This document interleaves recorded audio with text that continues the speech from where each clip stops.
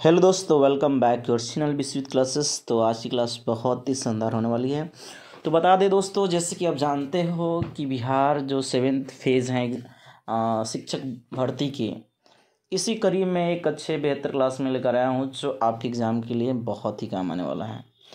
यानी शिक्षक भर्ती दो हज़ार तेईस के लिए वीडियो बहुत ही खास है, जिसमें विगत परीक्षाओं में पूछे गए प्रश्न आपको देखने को मिलेंगे। और जो भी बीपीएससी एग्ज़ाम कंडक्ट कराती है, जो क्वेश्चंस हैं उनके, बिहार स्पेशल से आज हम कुछ क्वेश्चन करेंगे दोस्तों। सबसे पहले थोड़ी सी आपको जानकारी दें। थोड़ी सी समझिएगा, जानकारी लेना ज़रूरी है। जैसा कि आपको पता है नॉर्थ साइड जो है नॉर्थ साइड में नेपाल है और आपको कह दिया जाए तो साउथ साइड में झारखंड है। याद रखिएगा, है ना? और नॉर्थ आपको समझ में आ गया, साउथ समझ में आ गया और ईस्ट साइड तो आप समझ सक, सकते हैं और वेस्ट साइड हम लोग समझ सकते हैं। तो ईस्ट और वेस्ट जो है आपका, इस चीज़ को भी हम लोग को याद रखना होगा। तो इस साइड में बंगाल आपका मिलता है, वेस्ट साइड में आपका उत्तर प्रदेश मिलता है, इसका बिहार का चौहद्दी है, ठीक है ना? और बिहार में अक्सर ज़िले से संबंधित भी क्वेश्चन देखने को मिलते हैं। थोड़ी सी आप लोग इसे जूम करके देख लीजिएगा ना? आगे इस पर क्वेश्चन आएँगे, जिसकी हम लोग चर्चा करेंगे। तो चलिए दोस्तों, आगे हम डिस्कस करते हैं। चलिए क्वेश्चन आपके सामने आ गया, है ना? क्वेश्चन जैसा कि देख पा रहे हैं, बिहार राज्य में गंगा किनारे, बिहार राज्य में गंगा किनारे जो स्थित जिलों की संख्या वह कितनी है? चलिए एक बार कमेंट करके बताएँ, सभी लोग कितनी है? फटाक से कमेंट करें कि क्या राइट आंसर होगा इसका, है ना? तो बता दें आप लोग फटाक से इसका आंसर बताने का प्रयास करें क्या आंसर इसका राइट होगा, है ना? चलिए, इस इस क्वेश्चन के आंसर को समझने से पहले मैं आप लोग कुछ बताना चाहूँगा, उसके बाद इस क्वेश्चन का आंसर आप ऑटो आप बताइएगा खुद, यानी ऑटोमेटिक इसका आंसर बताइएगा। तो क्या बात है, समझते हैं इसको? तो कुछ इसके बारे में हम लोग जान लेते हैं। बिहार राज्य के बारह ज़िले जो हैं गंगा नदी के तट पर अवस्थित हैं। याद रखना है कितने ज़िले हैं? बारह हैं। ये बातें आपको याद रखना ज़रूरी है कि बिहार के, यानी बिहार राज्य के बारह ऐसे ज़िले हैं जो गंगा नदी के निकट अवस्थित हैं। और बात करते हैं आखिरकार वो कौन कौन से ज़िले हैं जो गंगा के निकट स्थित हैं या अवस्थित हैं। चलिए दोस्तों तो जिसमें हम बता दें सारण है बक्सर है, भोजपुर है, पटना है, वैशाली, समस्ती, बेगूसराय, समस्तीपुर, बेगूसराय, मुंगेर और खगड़िया, भागलपुर और कटिहार शामिल हैं। ये सारे के सारे बारह के बारह ज़िले जो हैं, ये आपके बिहार राज्य के, यानी बिहार राज्य के ज़िले हैं और बता दें कि सारे के सारे गंगा नदी निकट हैं। निकट, अर्थात करने मतलब निकट अवस्थित हैं। और फटाक से मुझे बताने का प्रयास कीजिएगा, ये जो प्रश्न था हम लोग का इस प्रश्न का राइट आंसर क्या होगा? तो सभी ने प्रयास किया होगा, बेहतर। हाँ जी, बिल्कुल। इसका राइट सी आंसर हो जाएगा, इसमें कोई शक नहीं है। चलिए, आज के अगले क्वेश्चन को देखते हैं। अगला क्वेश्चन क्या है ना? इसमें थोड़ा समझते हैं। ये सारी बातें आप लोग डेटा याद कर लीजिएगा, कहीं ना कहीं का आपको काम आ जाएगा। बिहार के किस ज़िले में, ध्यान दीजिएगा, बिहार के किस ज़िले में गंगा नदी सबसे लंबी है? यानी बिहार में आप जानते हो थर्टी एट जो डिस्ट्रिक्स हैं, उस कौन से ऐसे ज़िला हैं जहाँ पे आपके गंगा नदी जो है सबसे लंबी है? मुझे लगता है कि आप आसानी से इसका आंसर बता सकते हैं। बिल्कुल कमेंट करें, इसका राइट आंसर हालाँकि ये भी एग्ज़ाम में क्वेश्चन पूछे गए हैं, है ना जी? देख सकते हैं ये भी एग्ज़ाम में। ऑफिशियल पेपर में आपको दिखा रहा हूँ, ये भी क्वेश्चन पूछे गए हैं। और जो बीपीएससी जो टीचर बहाली हैं, शिक्षक बहाली हैं इसी पैटर्न पर बिल्कुल आपके क्वेश्चन देखने को मिल जाएँगे। तो चलिए, आप लोग कमेंट करें। चलिए, थोड़ा सा इसके डेटा समझते हैं, इसके बारे में क्या कहानी है, इसके बारे में थोड़ी सी हम लोग स्टडी करते हैं और जिसकी वजह से आप आंसर बताने में समर्थ हो जाओगे, है ना? तो चलिए, पहली बात है, हम लोग जान चुके हैं कि गंगा नदी जो है, बिहार के बारह ज़िलों से गुजरती है। बात तो सही है। जिसमें गंगा नदी की सर्वाधिक लंबाई पटना कितना है? तो निन्यानवे किलोमीटर, है ना? आप याद रखिएगा, पटना ज़िला में सबसे अधिक गंगा नदी की लंबाई है, कितना है? नाइन्टी नाइन किलोमीटर्स, है ना? इसके अलावा, अगर एग्ज़ाम में पटना न देकर कोई और ऑप्शन देता है तो क्या कीजिएगा? चलिए तो उसके बारे में भी हम जानकारी लेते हैं। तो ये हो जाएगा दूसरे स्थान पर भागलपुर। ध्यान दीजिएगा, दूसरे स्थान पर कौन आता है? भागलपुर आता है।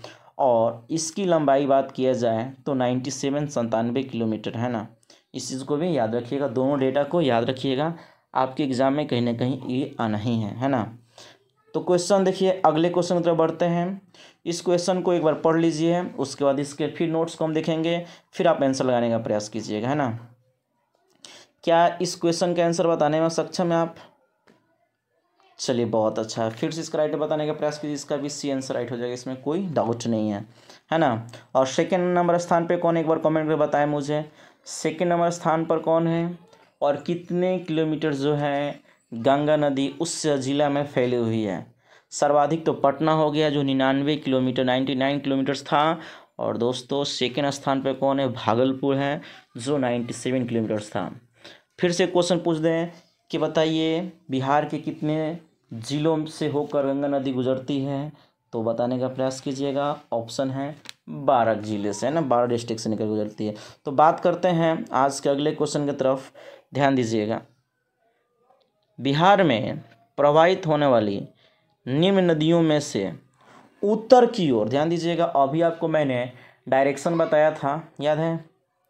अभी शायद आपने नोटिस किया होगा कि मैंने डायरेक्शन आपको बताया था। तो कह रहे बिहार में प्रवाहित होने वाली निम्न नदियों में से कौन सी ऐसी नदी है जो उत्तर की ओर प्रवाहित प्रवाहित मतलब क्या? बहती है है ना? क्या बागमती है, कमला है, कोसी है, गंडक है? आखिरकार इसमें से क्या राइट आंसर होगा, है ना? तो चलिए दोस्तों, सबसे पहले नदियों के बारे में जानना ज़रूरी है कि कौन कौन सी नदी जो है आपके साउथ से नॉर्थ की ओर जाती है है ना? उत्तर नॉर्थ साइड में। साउथ से नॉर्थ की ओर जाती है है ना? तो इन सारी नदियों के नाम जानेंगे, है ना? ऑलरेडी भी एग्ज़ाम में क्वेश्चन पूछा है, ऑफिशियल पेपर, है ना? तो चलिए दोस्तों, बात करते हैं कि वो कौन कौन सी नदियाँ हैं जो आपके साउथ से नॉर्थ की ओर जाती है। सबसे पहले हम कुछ समझने का प्रयास करेंगे, है ना? तो चलिए दोस्तों। तो देखिए यहाँ पर क्वेश्चन फिर से एक बार देख लीजिए। क्वेश्चन आपने देख लिया था कौन कौन सी नदी है है ना? चलिए। तो आपको थोड़ा सा याद रखना होगा, वो नदियाँ कौन कौन सी हैं? सोन नदी है और पुनपुन नदी है। कौन नदी है? सोन और पुनपुन नदी है है ना? दोस्तों, अगर आप इसी प्रकार से बेहतर कंटेंट के साथ कंसेप्ट के साथ नोट्स के साथ स्टडी करना चाहते हो और इस आने वाले बहाली में शिक्षक भर्ती में अपना स्थान सुनिश्चित करना चाहते हो तो वीडियो को लाइक शेयर कर लो। जो भी हैं, नए हैं चैनल को सब्सक्राइब करके बेल आइकन को प्रेस कर लेंगे ताकि इसी प्रकार के क्लासेस, वीडियो, रोज़ाना आपको मिलता रहे, है ना? चलिए दोस्तों तो याद रखिएगा, सोन पुनपुन ये नदियाँ जो है, उत्तर दिशा की ओर प्रवाहित होती हैं और ये गंगा में मिल जाती है, ठीक ना? कहाँ मिल जाती है? गंगा मिल जाती है। सबसे पहले हम लोग इसका मैप द्वारा समझते हैं कहानी क्या है ना? इसकी टोटल कहानी क्या है, मैप को समझते हैं, ध्यान दीजिएगा। थोड़ा सा मैं जूम करता हूँ ताकि आपको दिखाई दे। ध्यान दीजिएगा। देखिएगा, ये आपका नॉर्थ साइड होता है और ये साउथ होता है, ये ईस्ट होता है और आपका ये वेस्ट होता है। समझिएगा, ये क्वेश्चन पूछ रहा था कि कौन कौन सी नदियाँ जो ऊपर की तरफ़, उत्तर की तरफ़ बहती है है ना? मेरी बात को समझिएगा ध्यान से। कौन कौन सी नदियाँ जो हैं, ये उत्तर की ओर बहती है? तो देखिएगा, यहाँ पर ध्यान दीजिएगा। अगर आपका ध्यान होगा तो देखिए यहाँ पर सोन है। कौन है? सोन है। करमासा है। पुनपुन है। है ना? आ, हरोहर है। ठीक है ना? क्यूल है। है ना? इसके अलावा चंदन है। ये सारी नदियाँ जो है आपके उत्तर दिशा की ओर बहती हैं।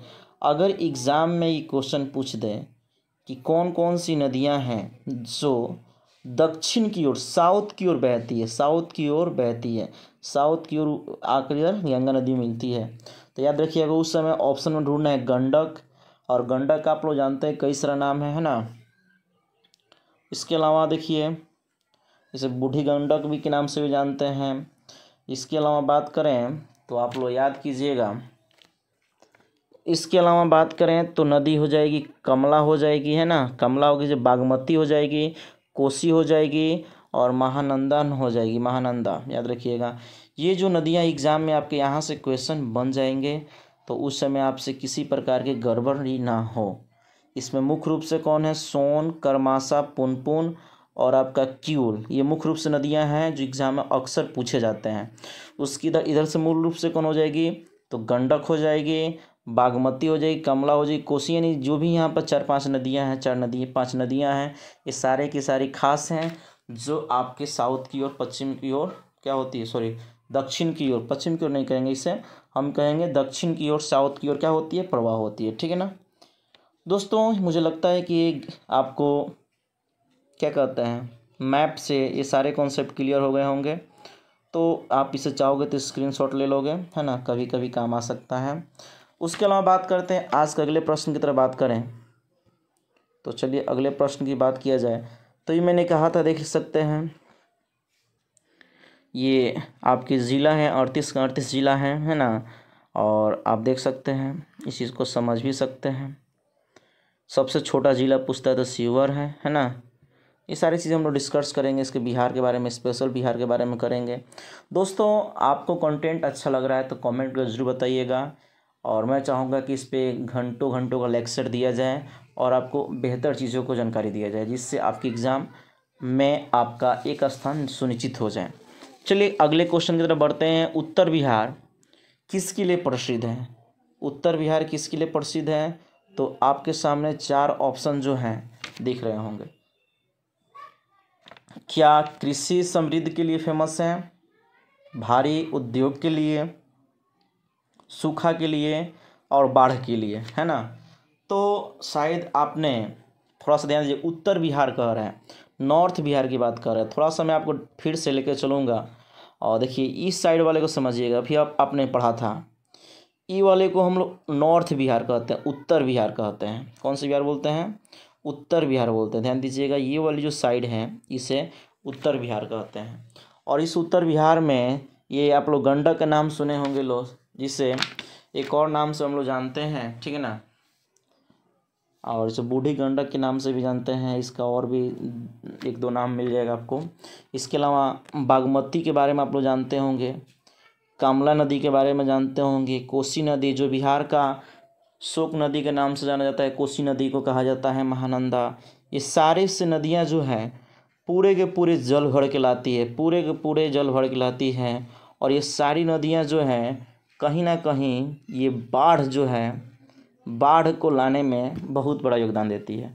यानी इन्हीं नदियों के कारण बाढ़ जो होता है, मैं आपको जानकारी के लिए बता दूँ, ये जो आप देख रहे हो, जो आप देख रहे हो, ये सारे के सारे इधर से बाढ़, यानी पानी वाला इलाका है।